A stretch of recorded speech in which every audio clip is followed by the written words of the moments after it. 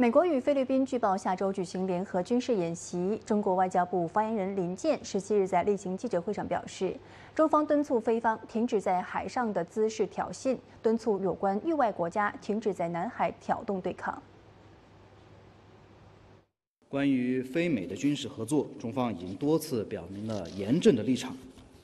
菲方应该清醒地认识到，拉拢域外国家在南海炫耀武力、挑动对抗。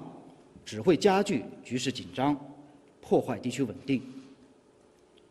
试图引入外部力量来维护所谓的自身安全，只会导致自身更大的不安全，甚至沦为别人的棋子。我们敦促菲方停止在海上的姿势挑衅，敦促有关域外国家停止在南海挑动对抗。中方将继续采取必要措施，坚定捍卫。